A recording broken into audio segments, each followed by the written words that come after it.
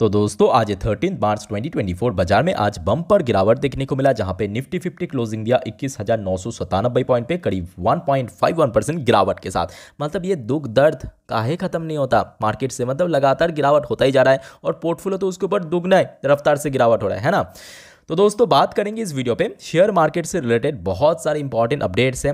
आज पूरे दिन का लेटेस्ट जितने भी अपडेट है, आपके साथ मैं शेयर करूँगा। साथ में ग्लोबल मार्केट का हालचाल एफ़ एस का डेटा और मोस्ट इंपॉर्टेंट पार्ट कल मार्केट प्रडिक्शन तो रिक्वेस्ट करूँगा आप सभी को प्लीज़ वीडियो को बिना स्किप किए पूरा तक ज़रूर देखना और स्पेशली आखिरी जो तीन मिनट वो मिस मत करना बिकॉज़ उसी तीन मिनट पर हम मार्केट को एनालिसिस करेंगे कि कल बाज़ार किस तरफ़ मूव कर सकता है। ओके तो सबसे पहले हम बात करेंगे मार्केट एनालिस्ट द्वारा क्या स्टेटमेंट दिया आइए देख लेते हैं। तो इस टॉपिक को कवर किया सी सिक्योरिटीज द्वारा एक एनालिस्ट ने इनके अकॉर्डिंग आज जिस लेवल के ऊपर बाज़ार क्लोजिंग दिया अगर यहाँ से गिरावट आगे होता है तो नीचे लगभग 21,860 पॉइंट के आसपास सपोर्ट मिल सकता है। उसके साथ साथ देखिए इसको कवर किया उसके बाद एंजल वन द्वारा एक और एनालिस्ट ने इनके अकॉर्डिंग भी सेम चीज़ मेंशन किया कि ऊपर की तरफ़ हमने देखा स्ट्रॉन्ग रेजिस्टेंस मेंशन किया आ, मतलब लास्ट डे जैसे कि हमने देखा बाईस हज़ार ढाई सौ के आसपास नीचे की तरफ़ बात करें इक्कीस हज़ार आठ सौ इनकी तरफ़ एक अच्छा सपोर्ट लेवल बन सकता है। क्या इस टॉपिक को कवर किया आप दूसरे एक और वेबसाइट मनी कंट्रोल को वेबसाइट में एक दूसरा एनालिस्ट ने। इनके अकॉर्डिंग देखिए Nifty form large bearish candle 21,860 crucial for further sharp correction तो इसके ऊपर मतलब अगर मार्केट में और करेक्शन हो गया तो लगभग 21,860 तक गिर सकते हैं। ये क्रूशल लेवल है। उसके साथ साथ कुछ important resistance and support mention किया नीचे की तरफ़ इमीडिएट 21,800 से लेकर 21,700 और ऊपर की तरफ़ रेजिस्टेंस मेंशन किया 22,200 से लेकर 22,300 उसके बाद दोस्तों देखिए एक और एनालिस्ट ने अपना एक स्टेटमेंट दिया संदीप रायना करके इसका नेम है। Crash was expected okay stay calm and invested as market will revive soon मैं बोलूँगा बहुत इंपॉर्टेंट स्टेटमेंट इन्होंने दिया कि ये जो फ़र्स्ट वर्ड इन्होंने इन्वेस्ट यहाँ पे मेंशन किया ना स्टे काम ये दोस्तों बहुत मैं बोलूँगा मीनिंगफुल वर्ड है। क्योंकि इसी सिचुएशन पे मालूम पड़ जाएगा कि कौन असली खिलाड़ी है क्योंकि ज़्यादातर लोग इस टाइम पे फ्रस्ट्रेट होकर सेल करके निकलेगा। जो लोग पेशेंस रखेगा, काम एंड कूल रहेगा, उनके पास ही दोस्तों पैसा आएगा नियर फ्यूचर में या फ्यूचर में। सीधी सी बात है मार्केट की फॉर्मूला सिंपल है और जिस वजह से मार्केट में सक्सेसफुल लोगों की नंबर जो है, वो बहुत ही कम है, ठीक है? तो इनकी जो पहले वाला जो वर्ड इन्होंने यूज़ किया आई थिंक बहुत मीनिंगफुल है। उसके बाद दोस्तों आप ये भी जान लीजिए, आज की डेट पे एकदम इतना ज़बरदस्त गिरावट हुआ, खास करके mid cap small cap sector में। सीधा सीधा तेरह लाख करोड़ इमेजिन कीजिए तेरह लाख करोड़, ठीक है? धुआँ की तरह गायब हो गया। उसके बाद देख लीजिए यहाँ पे कुछ बाहर की फंड कंपनी की तरफ़ से कुछ ऐसा स्टेटमेंट है इंडिया की इकोनॉमी के ऊपर कि India emerge as preferred investment destination for Swedish business ये बहुत इंपॉर्टेंट स्टेटमेंट है, जहाँ पे देखिए आज की डेट में हमारे सेवी की तरफ़ से ये बोला जा रहा है कि यहाँ पे बबल है, ये है, वो है, फलाना है। वही अगर हम बात करें बाहर की जो इन्वेस्टर्स हैं या बाहर की जो बड़ी इन्वेस्टमेंट फंड कंपनी है, लगातार इंडिया को प्रेफर कर रहा है कि इंडिया एक सॉलिड इन्वेस्टमेंट डेस्टिनेशन जहाँ पे दूसरे बड़े बड़े इकोनॉमी डिस्ट्रॉय हो रहा है। अब देखिए फ्रांस को देखिए यूके को देखिए, जापान को देखिए, क्या हाल है वहाँ पे? रिसेशन चल रहा है कई जगह पे। उसके बावजूद भी इंडिया आज एक बहुत ब्राइट स्पॉट है।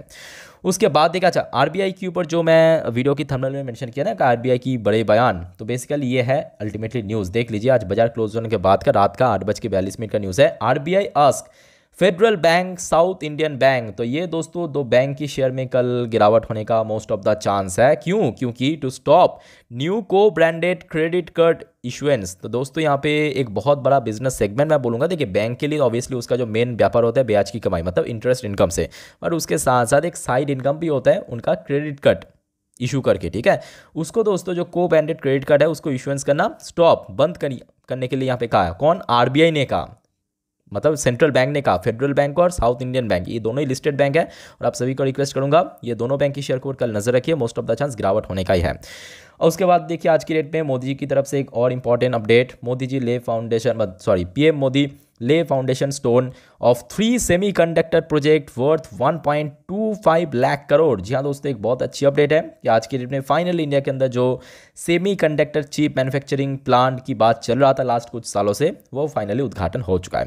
उसके बाद जैसे कि आपको मालूम होगा कि सेवी चीफ की तरफ़ से क्या स्टेटमेंट आया था। बेसिकली स्टेटमेंट में ये कहा गया था कि मिड कैप और स्मॉल कैप सेक्टर में बबल बना हुआ तो इसको देखिए रिप्लाई देते हुए एक veteran banker Kotak Mahindra bank की जो फाउंडर है, अभी तो रिटायर कर चुका है अपने पोजीशन से। तो उनकी तरफ़ से कुछ ऐसा स्टेटमेंट आया कि no serious bubble in the stock market इन्होंने क्लियरली मेंशन किया कि no serious bubble in the stock market अब देखिए डायरेक्टली तो ये मेंशन नहीं है कि सेबी को ही बोल रहा हूँ बट हाँ इनडायरेक्टली इन्होंने सेबी को ही मेंशन किया कि आज के डेट में कोई बबल नहीं है।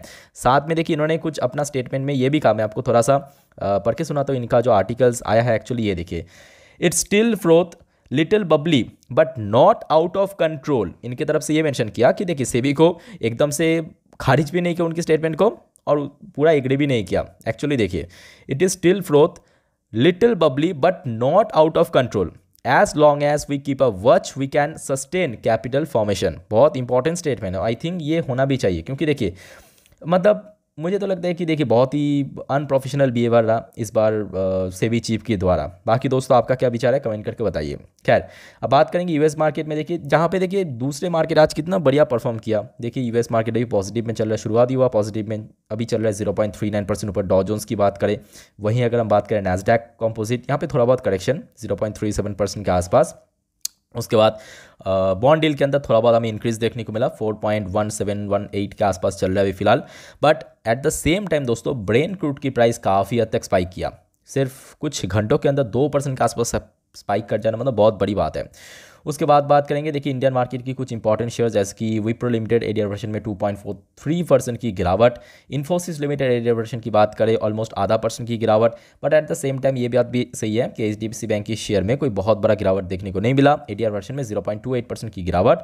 आईसीआईसी बैंक की एडियर वर्षन पर ज़ीरो परसेंट की ड्रॉप हुआ। गिफ्ट निफ्टी की बात करें चाहिए जो अपडेट आपके साथ मैं शेयर कर रहा गिफ्ट निफ्टी का, रात की दस बज के पच्चीस मिनट का, एकदम लेटेस्ट अपडेट और अभी गिफ्ट निफ्टी चल रहा है बाईस हज़ार चौदह पॉइंट के आसपास, जहाँ पे आज निफ्टी फिफ्टी क्लोजिंग दिया जस्ट उसके नीचे। तो मतलब अगर देखा जाए कि आज निफ्टी फिफ्टी जिस लेवल पे क्लोजिंग दिया, उससे बहुत ऊपर लेवल पे नहीं है गिफ्ट निफ्टी उसी लेवल के आसपास ही ट्रेड कर रहा है। अब चलिए थोड़ा सा हम देख लेते हैं एफएसडीएस का डेटा और उसके पहले दोस्तों, अगर आपको वीडियो अभी तक अच्छा लगा इन्फॉर्मेटिव लगा प्लीज़ दोस्तों वीडियो को लाइक करना और प्लीज़ चैनल को सब्सक्राइब करके ज़रूर रखना दोस्तों इस टाइप की इन्फॉर्मेटिव वीडियो रोज़ पाने के लिए बिकॉज़ इस टाइप की वीडियो में मैं आपको अक्सर पूरे दिन का अपडेट दे देता हूँ, साथ में ऑब्वियसली मार्केट प्रडिक्शन वाला पार्ट तो आज की डेट पे दोस्तों एफएस द्वारा फिर से सेलिंग देखने को मिला, जिस जो कि एक्सपेक्टेड था। टोटल चार हज़ार पाँच सौ पचानबे करोड़ के आसपास सेल किया एफएस ने बट इसकी फ़ायदा उठा के डी ने काफ़ी बल्क में परचेज भी किया। टोटल नौ हज़ार तिरानवे करोड़। तो मतलब आज जहाँ पे एफएस द्वारा सेलिंग हुआ डीएस द्वारा परचेजिंग देखने को मिला। खैर इसराइल और हमास के बीच में कोई लेटेस्ट न्यूज़ नहीं, और आज Israeli top index T A thirty five की बात करें ऑलमोस्ट फ्लैट में क्लोजिंग दिया। बहुत ज़्यादा कोई गिरावट या यहाँ पे करेक्शन देखने को नहीं मिला।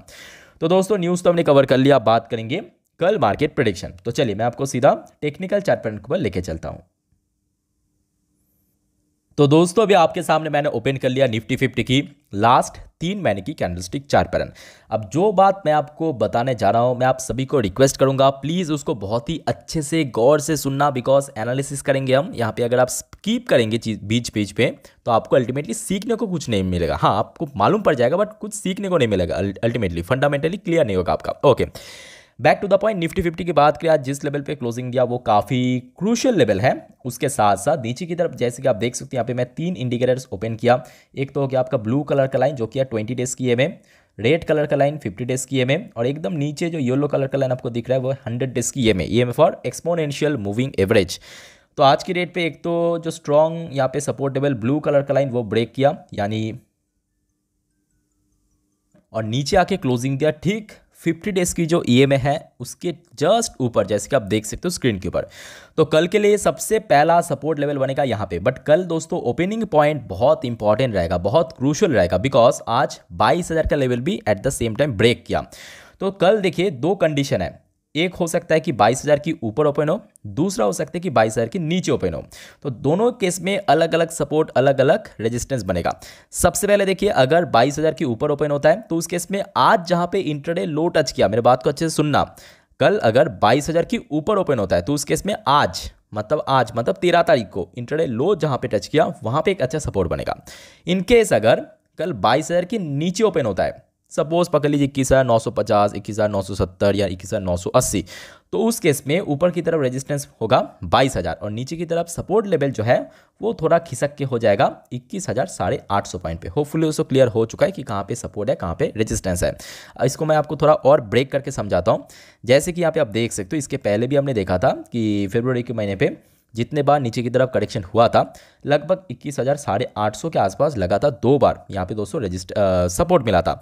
और जिसके चलते आज भी मैं आपको बोलूँगा, अगर नीचे की तरफ़ और गिरावट होता है तो लगभग ये जो हंड्रेड डेज़ की ये में आप देख सकते हो, फोर आवर्स की चार्ट पैरन पे, यानी इक्कीस हज़ार साढ़े आठ सौ के आसपास यहाँ पे एक अच्छा सपोर्ट बनेगा। But most of the chance ये है कि बाज़ार थोड़ा बहुत वॉलेटाइल भी होने का चांस है। बट हाँ अगर तेज़ी हो गया तो अच्छी बात है, ठीक है? अगर बाईस हज़ार के ऊपर सस्टेन कर गया तो उस केस में ऊपर मूव कर सकता है। अगर सस्टेन नहीं कर पाया तो फिर से नीचे की तरफ़ गिरावट होगा। तो देखिए, सबसे पहले यहाँ पे बैंक निफ्टी का भी रोल कल बहुत क्रूशल रहेगा बिकॉज़ बैंक निफ्टी भी यहाँ पे आज की डेट पे सैंतालीस हज़ार के इंपॉर्टेंट लेवल ब्रेक किया और नीचे आके क्लोजिंग है तो कल देखिए, बैंक निफ्टी सैंतालीस हज़ार के ऊपर जाने की कोशिश करेगा, है ना? इसके ऊपर अगर सस्टेन कर गया। उस केस में मार्केट को भी पॉसिबिलिटी है ऊपर की तरफ़ लेके जाना। तो देखिए अल्टीमेटली यहाँ पे बहुत सारे पॉइंट हाईलाइट किया। तो सबसे इंपॉर्टेंट एक बार मैं आपको बता के रखना चाहता हूँ कि बाईस हज़ार का लेवल कल काफ़ी क्रूशल है। तो बाईस हज़ार के ऊपर अगर निफ्टी टिक गया तो उस केस में थोड़ा ऊपर मूव हो सकता है। अगर यहाँ पे रेजिस्टेंस मिला तो थोड़ा नीचे के मूव हो सकता है। ये दोस्तों मैं आपको क्लियरली मेंशन कर दिया। बाकी आपका कोई क्वेरीज है कमेंट के थ्रू बताइए, फ़िलहाल इस वीडियो को वाइंड अप करता हूँ। मिलता हैं नेक्स्ट वीडियो पर तब तक के लिए टेक केयर बाय जय हिंद।